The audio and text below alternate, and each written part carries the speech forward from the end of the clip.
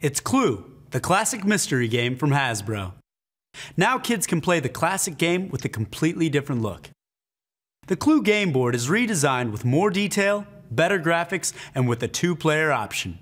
To win, be the first to solve the mystery by discovering which suspect, weapon, and room cards are in the murder envelope.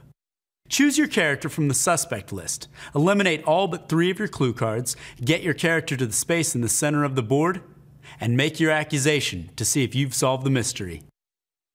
Clue is for 2 to 6 players age 8 and up and comes with Mansion Game Board, one yellow murder envelope, one detective notepad, six character tokens, black clue cards, red bonus cards, six weapon tokens, and dice. Clue, the classic mystery game from Hasbro.